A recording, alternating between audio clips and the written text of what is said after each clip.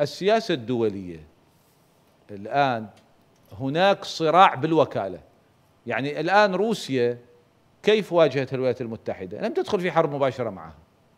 وإنما جعلت أوكرانيا بالوجه. وورطت روسيا في الدخول بحرب ضد أوكرانيا.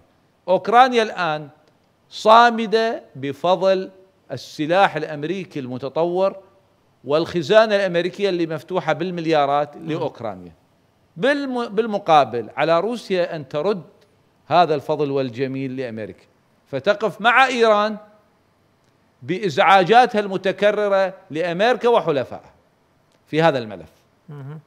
فلما يصل إلى أمر ترى أنه روسيا من طرف خفي تغمز للإيرانيين وتقول لهم افعلوا لا تفعلوا قولوا ولا تقولوا. ويبدو أنه حتى هناك تعطيها بعض الأمور للالتفاف حول أي قرار تتخذه وكاله الوكالة الدولية للطاقة الذرية.